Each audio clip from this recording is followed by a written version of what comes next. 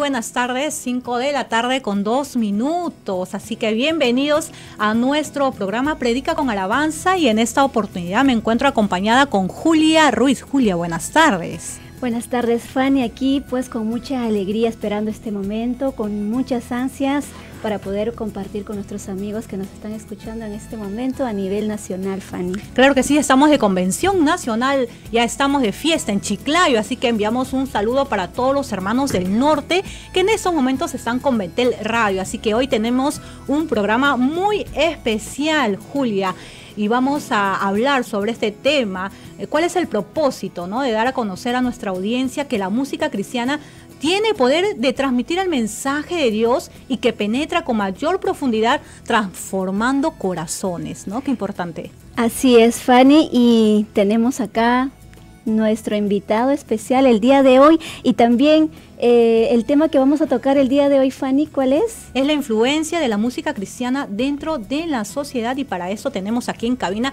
al pastor Milciades Narro. Pastor, buenas tardes y bienvenido en nuestro programa. Muy buenas tardes, hermana. Eh, es un gozo de saludarle en esta hora. Buenas tardes a todos nuestros oyentes también. Y es un privilegio participar de este programa aquí para que ustedes tengan eh, a bien. Así, Pastor, nos va a compartir todo sobre ese tema de la música y su importancia y el valor. Y también con la sierva del Señor Iris Delgado. Pastora, buenas tardes, qué gozo tenerla al lado de su hija y se llama Iris, también me comentan, Iris Cielo, ¿verdad? Así que Pastora, saludos para toda la audiencia de Betel Radio.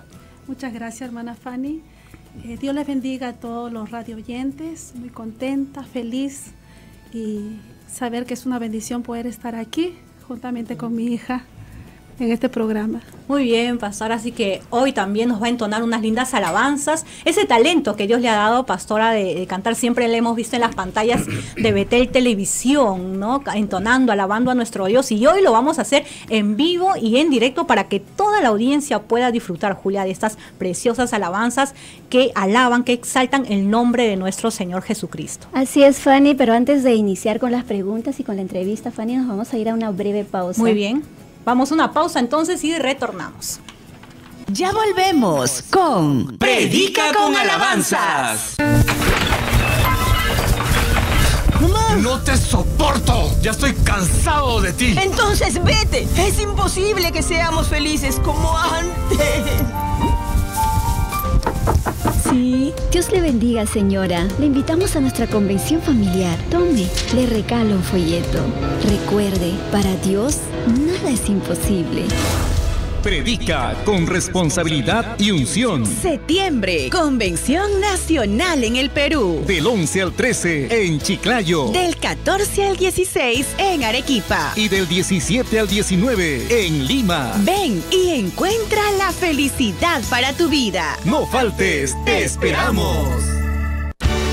Del 14 al 16 de septiembre, la ciudad blanca de Arequipa será sede de la Convención Nacional en el Perú. Escuchemos la invitación del reverendo Josué Ascarruz. Dios le bendiga hermanos y amigos. Les invitamos a nuestra Convención Nacional en la ciudad de Arequipa, Perú, del 14 al 16 de septiembre en el Estadio de la UNSA, en doble horario, a las 9 de la mañana y a las 6 de la tarde. Con el lema, predica con unción y responsabilidad.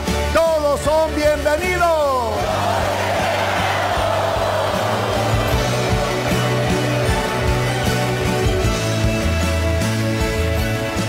Continuamos con Predica con alabanzas. Bien, continuamos aquí en nuestro programa Predica con Alabanza en esta vigésima séptima Convención Nacional en el Perú 2017. Así es, Fanny, ya como lo hemos mencionado antes de ir a la pausa, nos encontramos con el pastor Milciades, quien nos va a ayudar también a desarrollar el tema sobre la influencia de la música cristiana, su importancia y el valor que tiene en la evangelización. Pastor Milciades, un saludo a toda nuestra audiencia a nivel nacional, a todos los que nos están escuchando en la costa, sierra y selva del Perú. Así es, Dios le bendiga a todos, hermanos. Dios le bendiga también a todos los que estamos aquí participando en este día. Es realmente un día muy importante porque al iniciar estos eh, servicios, estos cultos especiales de convención nacional, eh, lo primero que vemos es justamente eso, la alabanza. Mucha gente se pregunta, ¿no? Eh, por qué cantan mucho, por qué alaban mucho. Entonces, eso es importante resolverlo hoy, yo creo que debe quedar claro porque es fundamental. Nosotros que estamos imbuidos de todo este mm, eh, elemento que es parte del culto a Dios, del servicio a Dios, de la, eh, de la dedicación a Dios, es fundamental para nuestra vida. Muy bien, pastor. Y antes de iniciar ya con las preguntas que queremos hacerle y también ha venido parte de la audiencia, queremos enviar un saludo muy afectuoso a toda la audiencia de BT Radio a través de nuestro Facebook Live, que estamos en vivo y en directo. Así que ya todos los que están enlazados nos van a seguir en estos momentos. Y vamos a escuchar un informe, pastor, nos acompaña para analizar sobre este tema de la influencia de la música eh, desde, el, desde el punto de vista antropológico y psicológico. A ver, vamos a escucharlo.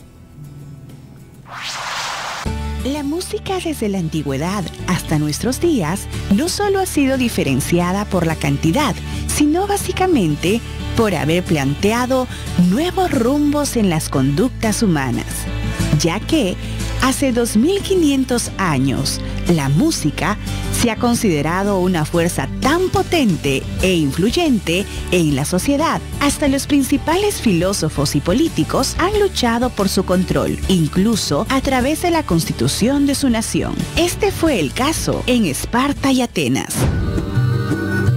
Otras culturas antiguas, como las de Egipto, India y China, manifestaron preocupaciones similares. Hoy, un control legislativo o gubernamental de este tipo sería casi inconcebible, pero incluso en este siglo hay gobiernos que han implementado leyes para controlar la música.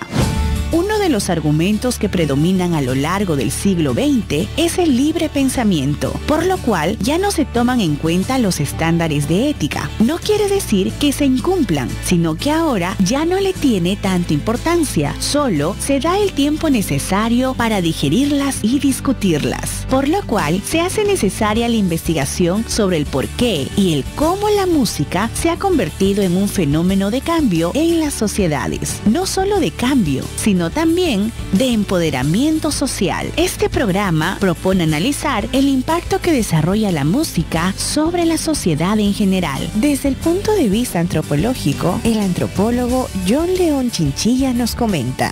La música no solamente surge en una sociedad específica, sino que está presente en todas las sociedades y todas las culturas y tampoco tiene una situación de funcionalidad universal. Cada sociedad y cada cultura tiene su propia particular forma de buscar este espacio cultural que es la música. Y en el ámbito psicológico, escuchemos al psicólogo Jaime Valdivia Tuanama. Yo creo que, eh, la, música fue un papel muy importante en, el desarrollo, en el comportamiento del, ser humano. ¿no? Hay algunas investigaciones por ejemplo, en un laboratorio se ponía una calidad de, plantas y estas se exponían a, música instrumental, música, música clásica, música eh, de grandes eh, músicos y era interesante cómo favorablemente estas plantas se desarrollaban, cómo estas plantas eh, eran vigorosas y su evolución era, era interesante. Eh, desde el vista de punto antropológico y psicológico, Pastor Milciades. Y antes ya de entrar a las preguntas, queremos saludar a toda la audiencia que está a través de nuestro Facebook Live. Alita Regifo dice: Gloria a Dios. Eh, por este programa. Jolsen Leiva, Dios le bendiga hermanos. Y también Alita Regifo nuevamente sigue escribiendo. Flor Jorge, Dios le bendiga a todos los hermanos de Radio Betel. Bien, como decía el informe, sabemos que la música pastor es un idioma universal, un arte con el que nos encontramos a diario desde que nos despertamos hasta que nos acostamos, ¿verdad? Y la influencia de la música en el mundo es impresionante. A, a la pregunta que queremos ir, pastor, para que eh, nos vayamos al tema bíblico, eh, ¿cuáles son los orígenes de la música eh, en la Biblia, pastor? Bueno, es indudable que la influencia que guarda la música tiene un origen fundamental. el origen de la música es realmente desde el punto de vista de, Dios, es en la alabanza, en el culto a Dios, en el servicio a Dios. Dios es el que dio origen a la, a la música, Él es el que lo generó, él lo creó, inclusive tanto que había un encargado especial de la música y cuyo nombre era justamente Lucifer. ¿no? Y ese era el, lo, fundamental, el elemento fundamental que les encargó de hacer, de armar todo, pero mm, debido a su, su pecado, dice de orgullo, por la posición que tenía, entonces por eso fue echado. Echado y dice inclusive con todo instrumentos mm, que tenía y no... Y bueno, el asunto es que eh, de ahí empieza, pero eso no quiere decir que se terminó allí. La música continúa, la música ha avanzado, la música ha continuado allí. Indudablemente, inclusive, eh, hablando así desde el punto de vista profesional, hay escalas en las que Dios nos permite tener una alabanza y hay escalas en las cuales no podemos pasarnos también, porque en realidad dentro de Dios hay, un, hay una norma, hay siempre una ley, hay un principio dentro del cual el hombre está permitido y cuando no está permitido. Sin embargo, en el mundo, eh, a través del tiempo, en, los días, en, la, en, las esferas de la sociedad eh, y las escalas no tienen que ver, simplemente se, se hacen, se ejecutan y eso lo que justamente, como decía hay dos informes, lo que procura buscar un empoderamiento. Claro y, más en la juventud, ¿no, Pastor? Quienes son más llamados a esos estilos de música también. Y, Pastor, eh, conversamos por interno y hay una gran diferencia en lo que refiere a alabanza y adoración. ¿Cuál es esta diferencia? Indudablemente, la adoración implica, cuando uno se acerca a Dios, implica decirle a Dios uno lo que siente a Dios. Por ejemplo, decirle, Señor, yo te amo, yo te exalto, yo te adoro, tú eres todo para mí, eres mi fortaleza, eres mi castillo, eres mi guardador, eres mi ayudador. Entonces mm, uno le está adorando, está diciéndole lo que uno siente de lo profundo de su corazón, por eso tiene que salir, por eso dice la palabra de Dios también que Él busca adoradores, que le adoren en espíritu, en verdad, algo que nace del corazón del hombre. Entre tanto que la alabanza ya viene a ser la proclamación y la declaración de los atributos de Dios. ¿No? Que Dios es, claro. No, por eso es que dice, y proclamad y alabad a Dios. Como decía aquí el Salmo 27, por ejemplo, dice, luego levantará mi cabeza sobre mis enemigos que me rodean, y yo sacrificaré en su tabernáculo sacrificio de júbilo, cantaré y entonaré alabanzas a Jehová. O sea, ese es ya el gozo de la manifestación después de haber eh, sentido qué cosa, satisfacción, alegría, gozo de haber tenido una experiencia con Dios.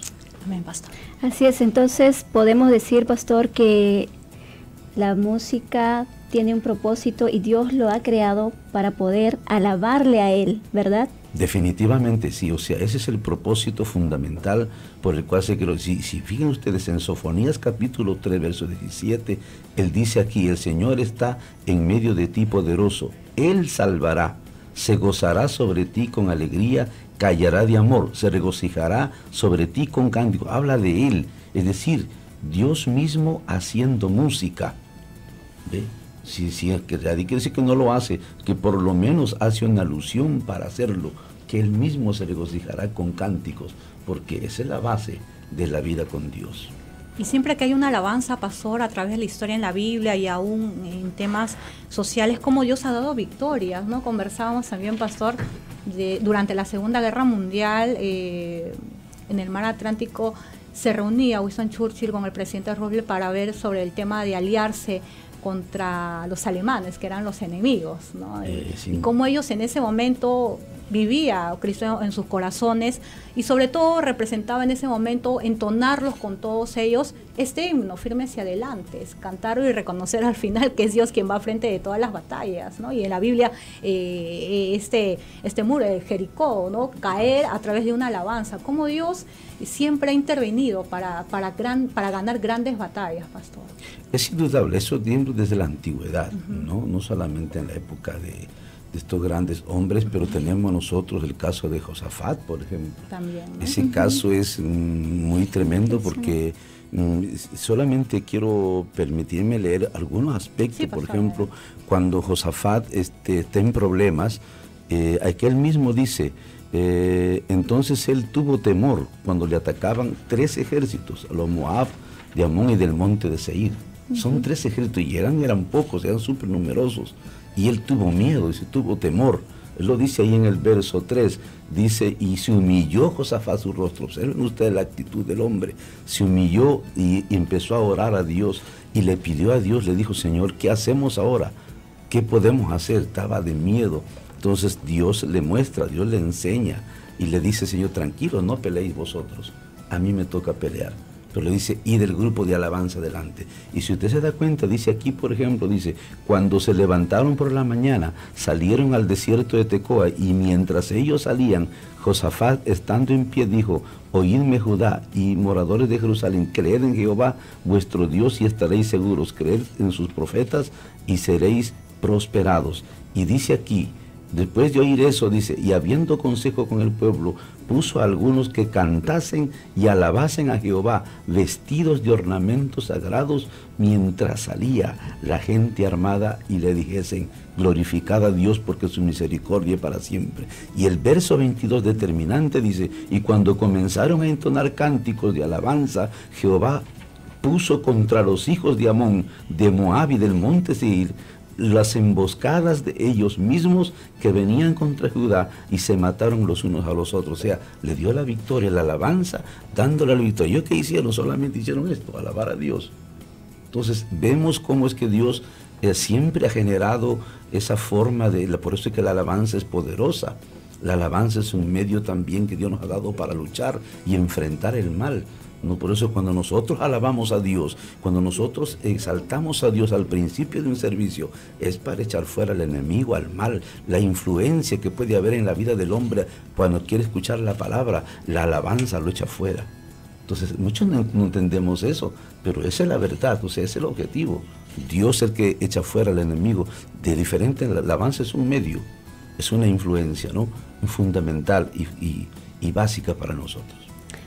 Amén. Pastor, sin duda la alabanza es una herramienta poderosa para poder también, como dice, hacer huir al enemigo y también para poder Dios darnos la victoria, ¿verdad?, en medio de la guerra, de la batalla. Y Dios ha usado tanto. Lo vemos en los salmos, eh, también al salmista David componiendo tantas alabanzas para el Señor.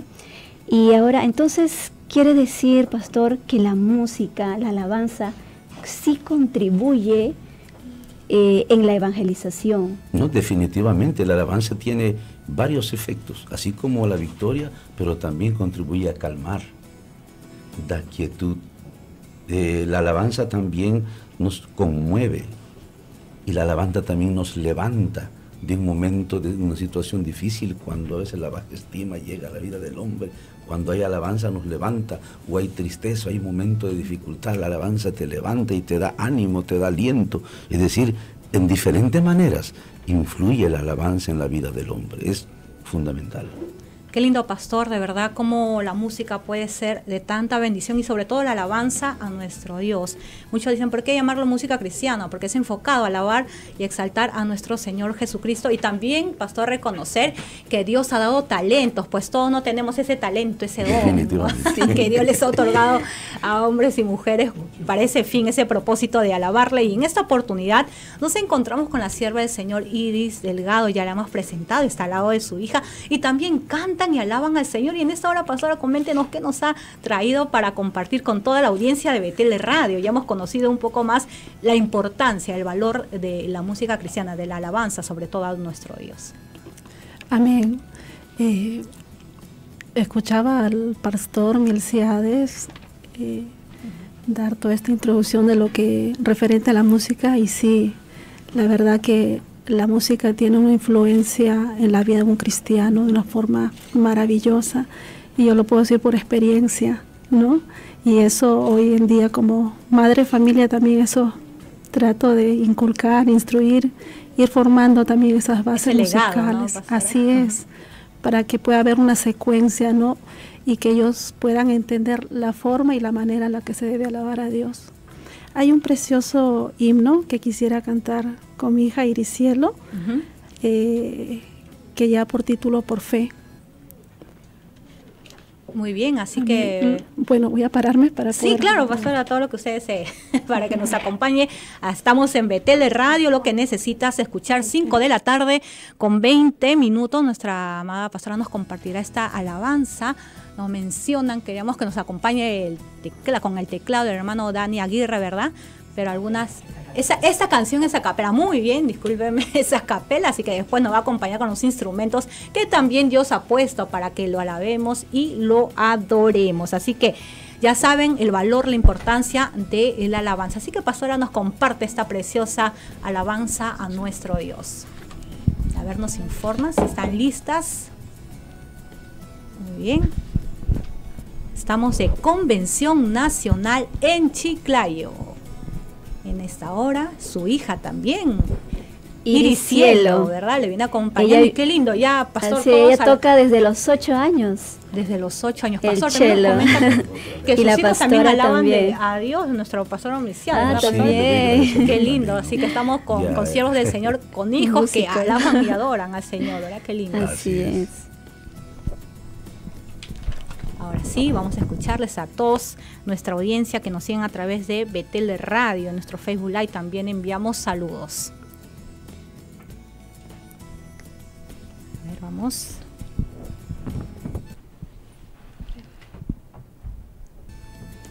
Estamos 5 de la tarde con 22 minutos y vamos a escuchar esta preciosa alabanza. Soy pecador, sin más confianza que en tu amor. Tu llamado acudir por fe, Cordero de. Cuán admirable su gracia es, inefable y sin par quienes confiamos por gracia en Él, en su presencia veremos su faz, en su presencia veremos su faz por fe. Alabado sea tu nombre, Jesús. Adoramos tu nombre, Jesús como soy, tu paz busqué.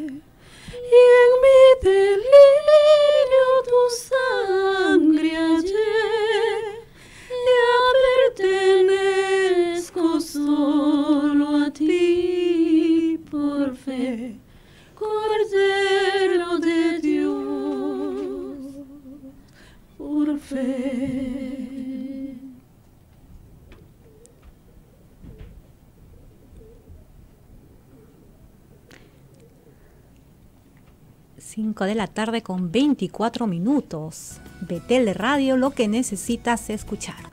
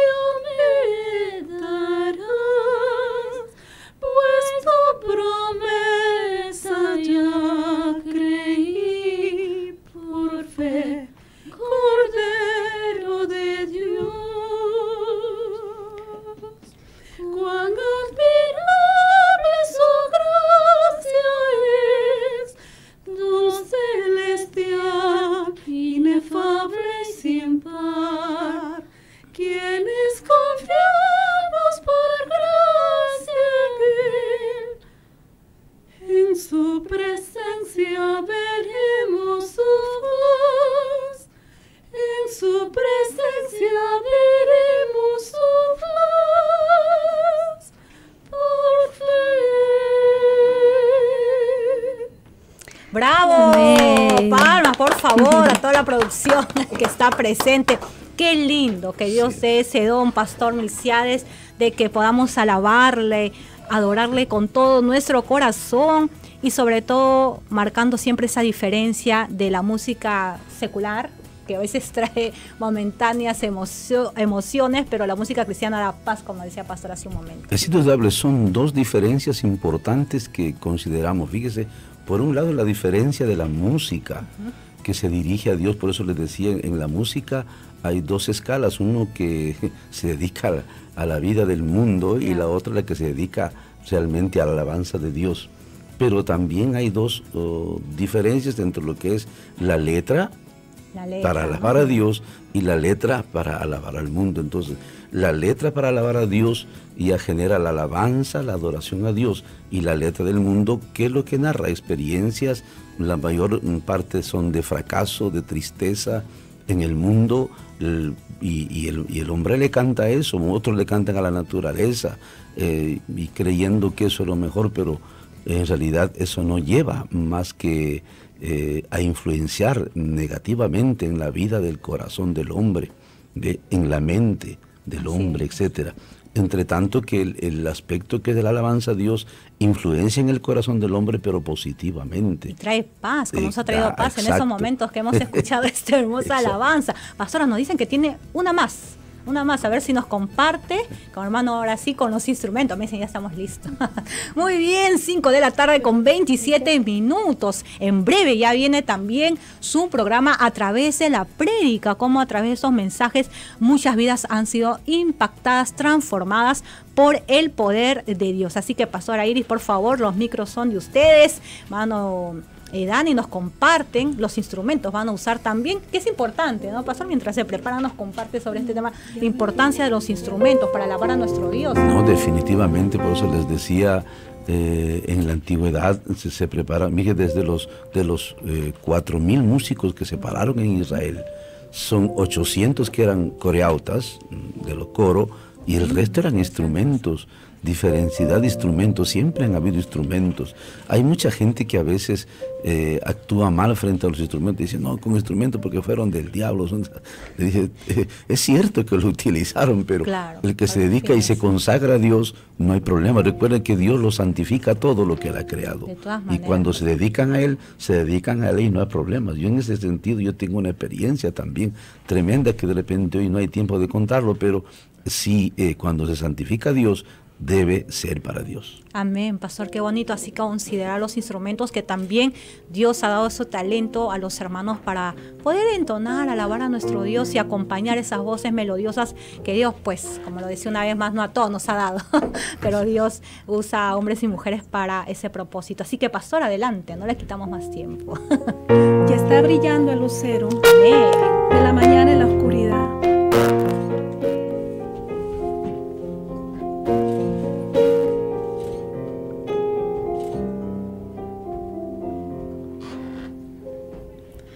Está brillando el lucero de la mañana en la oscuridad.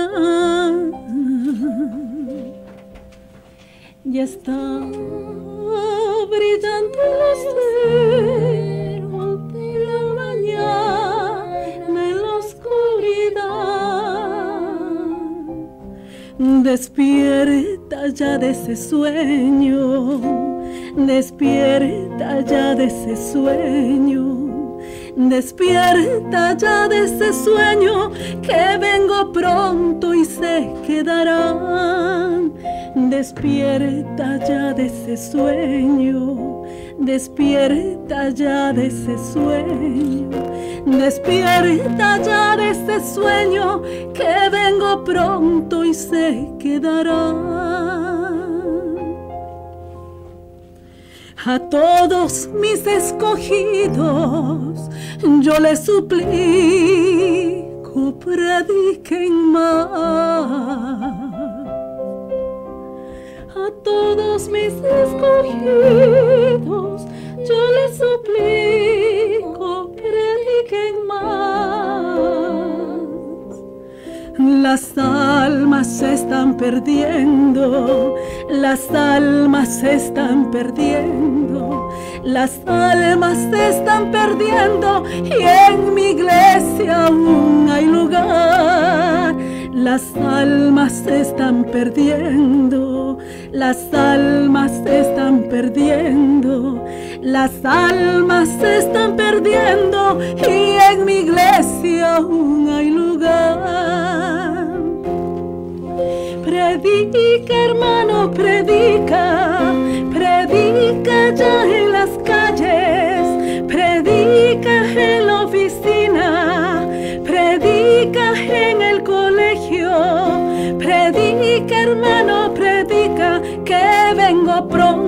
se quedarán. Predica ya en las calles, predica ya en la oficina, predica ya en el colegio, predica hermanos, predica que vengo pronto y se quedará. A todos mis escogidos, yo les suplico, prediquen más.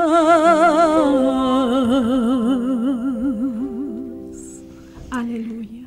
Amén. De esta manera hemos culminado, Fanny, el programa del día de hoy, Predica con alabanzas. Estamos llamados a predicar el pueblo de Dios. Así es. Así es, hasta aquí. Muy bien, llegamos a la parte final, como dice Julia, agradecida, Pastor Mercedes, por su presencia. De verdad que la hora faltaría para hablar sobre el tema de, la alabanza a nuestro mucho Dios. más, mucho mucho más. Pastor. Y creo que esta semana lo vamos a compartir con nuestros difer- diferentes invitados. Pastora Iris, muchas gracias. Bueno, Eh, amén. Sí, unas palabras Una- finales, Pastora, amén. claro. Muchas gracias por la invitación. Bueno, el tiempo eh, eh, ha quedado corto.